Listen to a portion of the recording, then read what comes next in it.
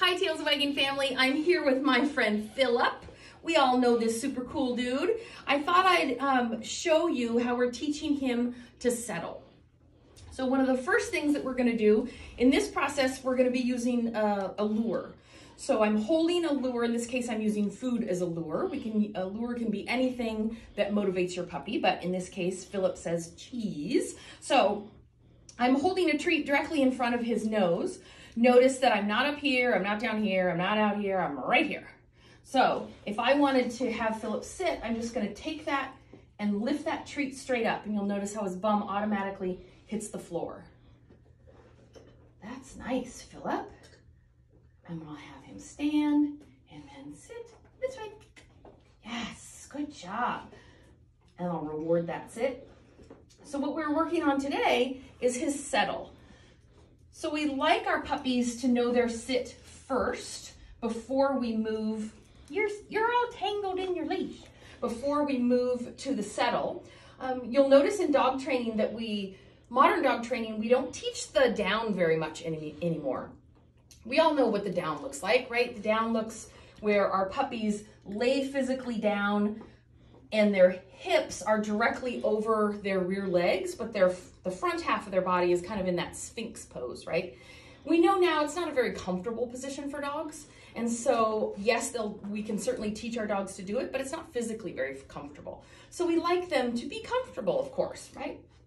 So our puppy, Phillip, already knows how to do a sit, so I'm gonna take that lure and I'm gonna bring it directly down. Once his elbows hit the floor, I'm gonna take that lure and just go over his shoulder. Yes.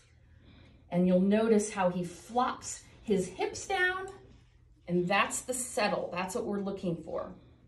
So in this case, my goal is to eventually teach him to settle from a standing position, but it helps puppies to start with a sit, moving down, and then settle. Notice that Phillip can do his settle on both sides. Our puppies are right and left pawed, just like we are right and left-handed.